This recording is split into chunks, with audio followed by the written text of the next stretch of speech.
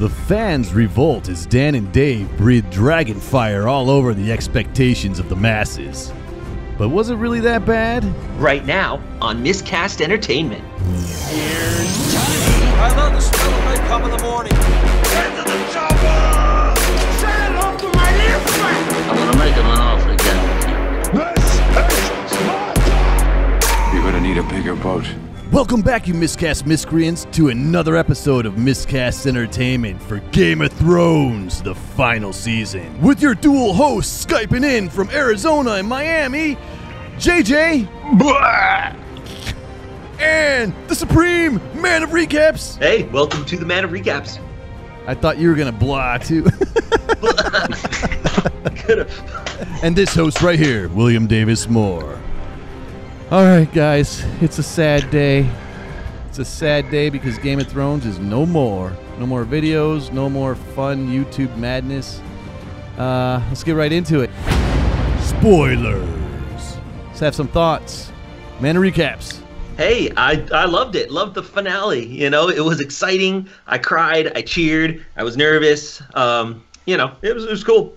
I kind of slipped. You know, I, I know that I knew that there were uh, some spoilers out there, and uh, right before the episode, I just I just had to know. So I went and I read them, and I hoped they were wrong, but they weren't wrong. You read those spoilers, man. I, I couldn't I couldn't wait. I just couldn't do it. I saw them like six or seven times, and it was like an addiction to crack. I kept like shaking, wanting to see, but I had to pull myself back from the brink. Man. no, man. Sometimes when you need a hit, just take the hit. Did it ruin the episode for you, though? I mean, No, no, it didn't because I kind of wanted to know how it was going to happen. I mean, mainly with uh, Bran becoming king. But still, like the question that I have, especially for you guys here, is did Bran like plan this all along? Is is that what they're saying? yeah, I mean, in, in my opinion, I think uh, Bran is the real evil villain of the entire show, and he's the master of the Game of Thrones because uh, all along he made you think that he only saw the past, but the man clearly Doctor Strange this whole freaking thing all the way up to the end. He's like, "Yo, I knew you were gonna make me king, so I'm here, bro." Yeah, he was he was talking like it was some sort of master plan. He he could see the future and, and tell what was going to happen. Um, so yeah, I mean, if he did, I guess that's kind of a dick move. Although maybe that was like of all the possible futures, maybe that was the best one.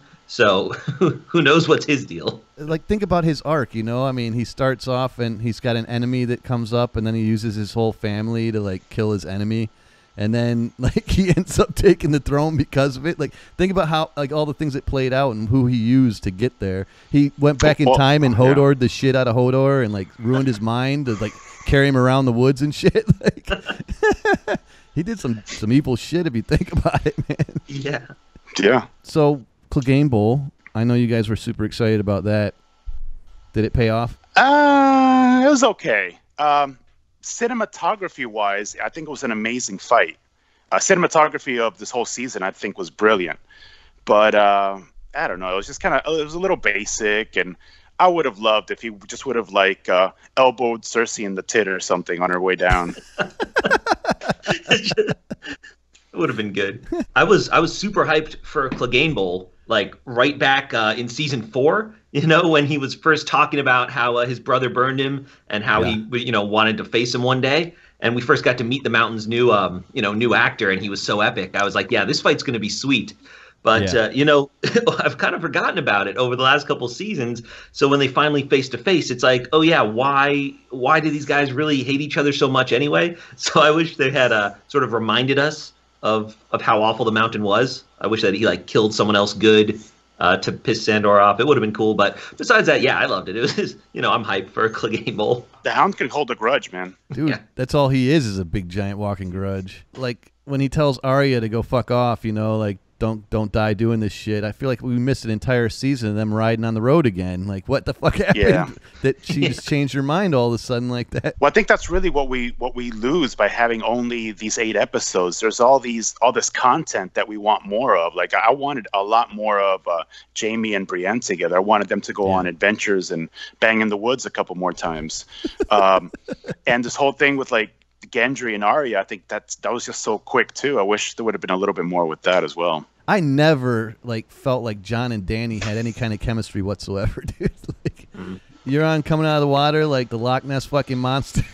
The greatest coincidence in movie history. what is the deal with that, dude? Is his arc just to kill Jaime? That was his big deal. Like, I, I that was just that whole scene was strange to me, man. Dude, everybody's arcs were just so many people's arcs were just so shitty. I mean, they uh, so many people just died for nothing, did all these things for nothing. I don't feel like we, we went in wrong directions in, in most places. I feel like what really happened was we just didn't have the time to get there. The whole show was a slow burn, and then the last, say, two seasons were like really fast, so fast that you couldn't keep up with what the hell was happening. So, I mean, what do you what do you guys think is going to happen with this petition that people are signing? That's amazing. Greg was saying that uh, he wanted to sign a petition to keep the people signing the petition of, wa- of watching the final episode. that would have been hilarious. That would have been fitting. Yeah, you can't just redo a show because because the fans weren't happy. It's like you know the the quality. Some things had dropped a bit. Like you said, I think it was a lot a lot rushed. But for the most part, it was still awesome. You know, and people are going to complain. They love it to So complain. George R. R. Martin had told them how it was going to end. So this is not like they did not know what they were doing. Like he gave them direction. Uh, this is just how they got there, and I think they did it too fast. HBO gave them up to ten seasons, and they turned it down. So this is totally on them for the speed of it. They got that sweet deal with doing the uh, the Old Republic with Disney, and I'm, I think that's what they had their minds on. You know, they didn't want to they didn't want to do any more Game of Thrones. There's only so much you can do, I guess. And you know what it's like when you give a, a show to like another showrunner, it always turns out like shit. So I would have I would have risked it. I would have liked Yeah. to see a lot more. Yeah. In Yeah. I wish they would have just bowed bowed and and just given it to somebody else. Uh, what about the memes, man? The memes are just getting better and better. I'm gonna miss the memes. I'm gonna miss the memes. I'm gonna miss my Sunday night. I'm gonna miss my uh, Monday mornings going through the memes. So I got to find a new way to enter- entertain myself. The memes were my favorite part, dude. Like uh, the what the fuck videos I'm, I've been doing. Yeah, those are great, man. freaking- I got one more, one more in the fucking can, and then it's done, man. So I got a couple couple questions for you guys. So Bronn, it, it seemed a little odd, right? Uh, he comes in to assassinate uh, the brothers, and then he leaves, and then all of a sudden he's on the council with uh, Bran. In the books, he's a side character. He doesn't even really have any real like oomph at all. I actually got in a fight with somebody that because of you, damn it, JJ. You What happened? You said in one of our episodes we did that he wasn't even in the books, so I just took your word for it. Uh, But somebody told me he wasn't in the books. apparently he is in the books. Just uh, Did you did you see him in the books? Ron is definitely in the books. Um, he's he's Oh, exactly his character from seasons uh, like one to one to four, basically. But um, like in where the books ended right now, which is somewhere around season four or five, Yeah. he's kind of gone up. Yeah, right after Tyrion's trial by combat, when he turns Right. him down to fight for him, he does end up uh, marrying that that girl with the castle, Lollys uh, Stokeworth. And then we like only hear about him like twice in the newest book, you know, that it's like, oh yeah, Bronn's still alive. So we we'll see. I love Bronn being there at the end. It's kind of funny that he just like rose all the way up to be a, a high lord now. yeah. So yeah, it's it's funny for me, and it's kind of a cool council. I like I like that group they assembled at the end. You know, Did you guys buy uh, Dany going full Anakin Skywalker? No, it happened. It happened at the wrong time. I think if it would have happened after in an episode where Drogon Drogon got killed, or when Rhaegal got killed, and when they uh, severed a homegirl's head, I think that would have been a great time for her to snap. But Mhm. not when it happened. When it happened, I just couldn't buy it. I was like, how did she just? The bell rang, you know. And not only that, but she could have flown right to the keep and just kind of taken care of her right away. So her thing was, I just want to burn all these people right now. Again, it feels like we missed a bunch of character development in between something and something. I gotta say, like uh, the, the shit that, really bothered me the most, I think, is the timeline that was going on. It used to take like an entire season to get from one city to the other city. Yeah, And then everybody's now- warping now. Now they're just bouncing around the entire continent like willy nilly, and you can time it because of Cersei's belly. She was not showing the entire freaking time from like when Jaime left to when he Right. came back. It's like, what's going on, dude? Like that can't be the case. That what it all took place in less than two months. Dude, I forgot she was pregnant. I thought she was Completely faking forgot. yeah, that didn't Now- end up going anywhere. it. It Now, went under in- under some bricks. In the last episode where she's uh, looking out the window, or sorry, ne- next to last episode where she's just looking out the window, is she drinking a glass of wine? She was with Euron Greyjoy in the episode where he nailed those boots. Oh my god, that's that's an irresponsible mother, I think. So uh, I just want to gloat. My prediction of Drogon fucking the Red Keep up and melting the throne came true. I was very happy. I did a happy dance. it was probably the coolest scene of all time, too, man. Like watching him just lose his shit like that.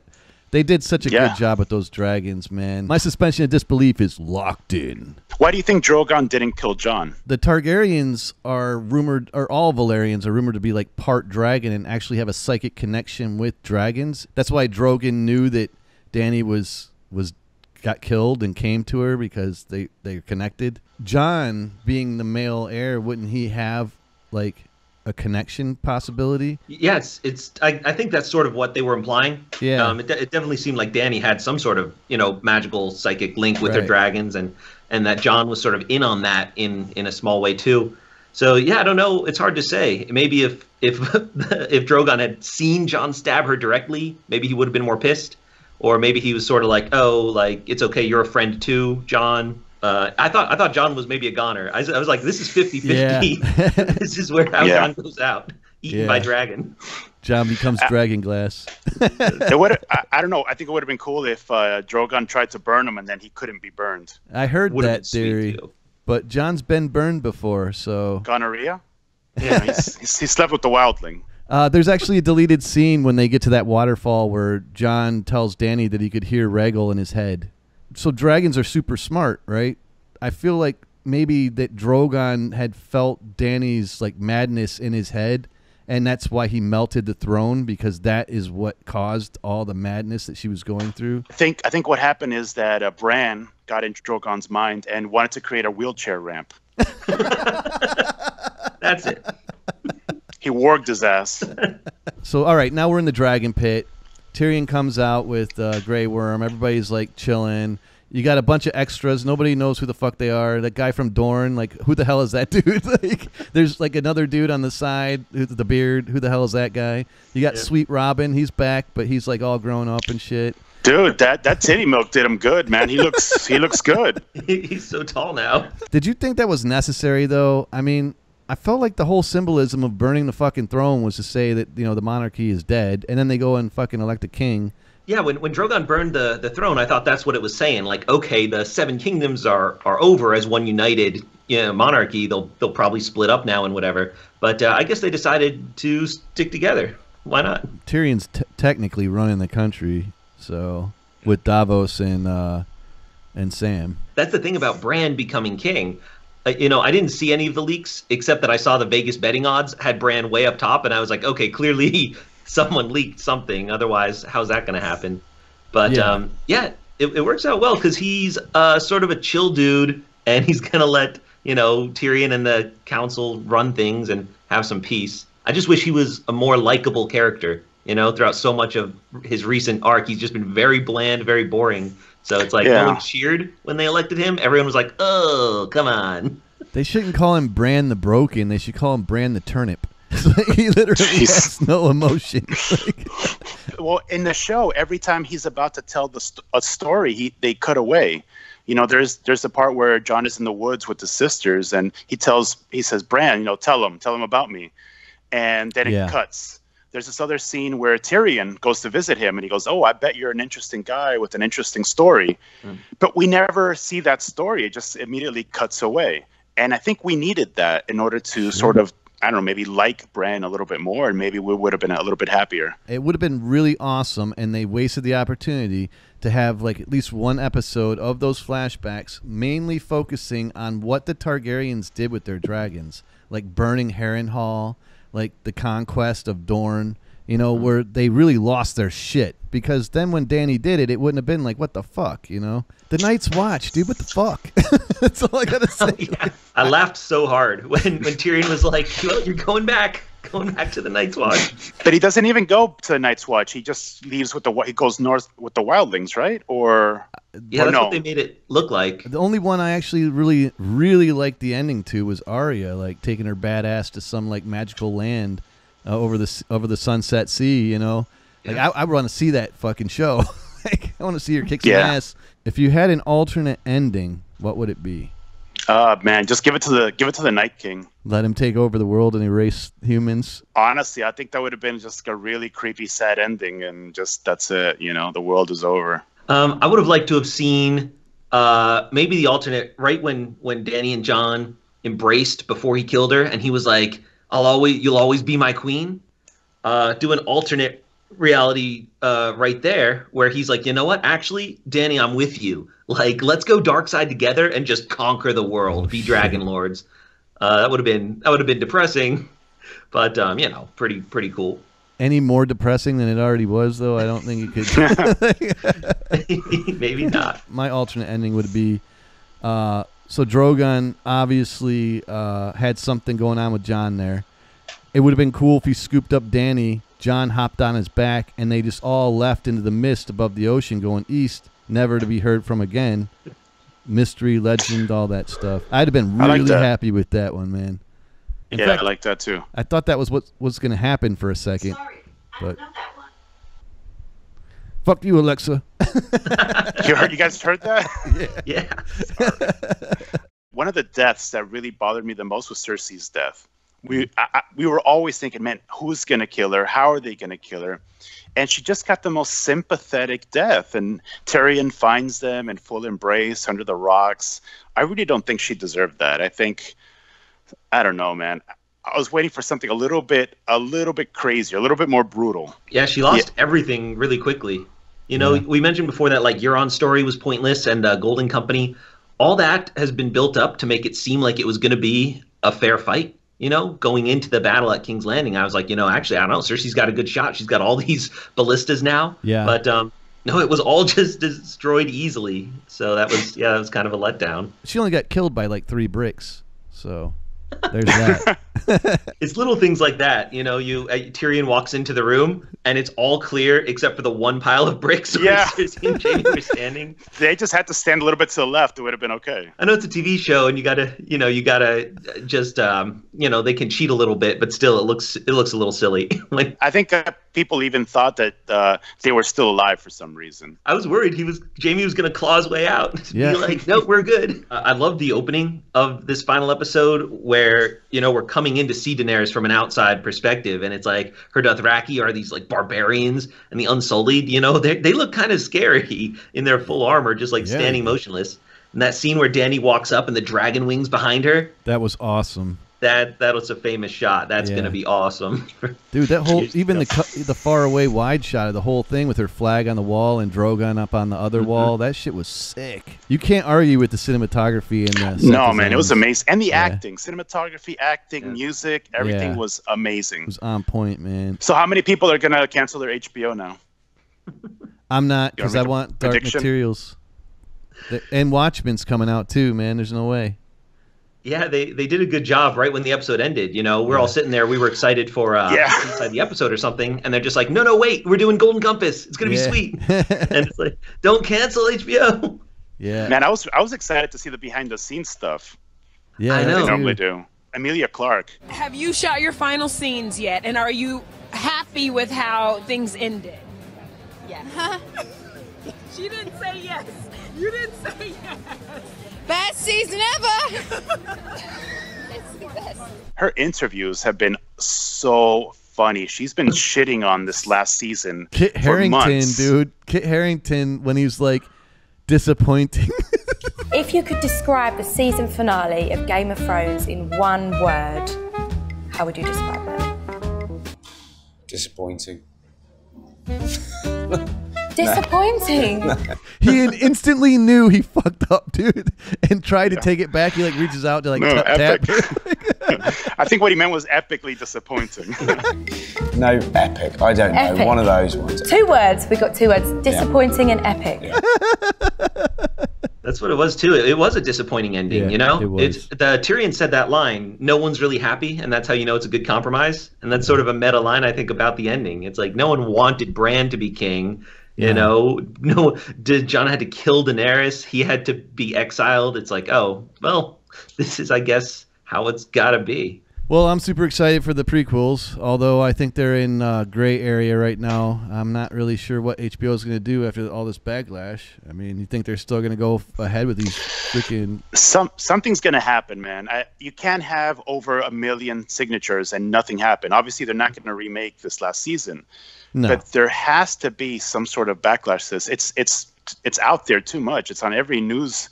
People, so many news stations already. I think it definitely damaged the amount of prequels we were going to get. I think the one that they're going to release now, uh, and again, I'm not sure, but I heard it was like something that takes place either hundred years before or five thousand years before. The one they're shooting right now is five thousand to eight thousand years prior. Okay. Oh So- man, so that's going to be like that's going to be uh, original Long Night. You know, the creation of the White Walkers. I, it's I think it's called the Long Night. And, okay, uh, that might be it. Might be pretty sweet. I'll I'll Yeah. check it out. All right, guys, that's going to do it for this final All right. Game of Thrones episode. Thank you, JJ from down in Miami.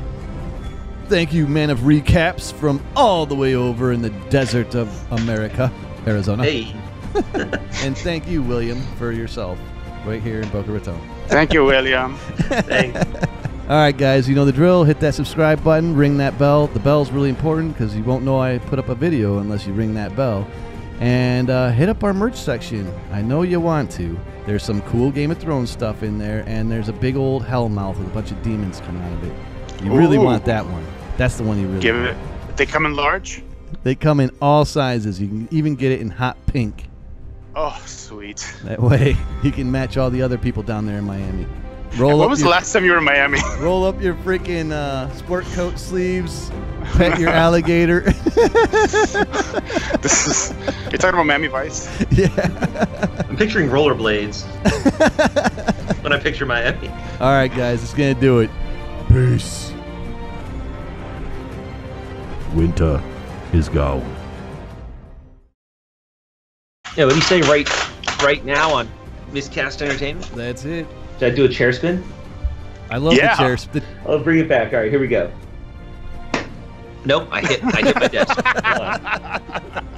Welcome back, you miscast miscreants, to another episode of Miscast Entertainment. And this is the final season of the in the final episode of Game of Thrones. Let's just get right into it with some host names. Let's do that again. How about we do that again? yeah. The fans revolt as Dan and Dave breathe dragon fire all over the expectations of the masses. But was it really that bad?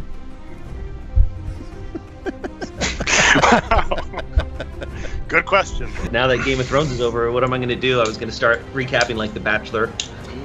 Oh shit. Get into a whole new market.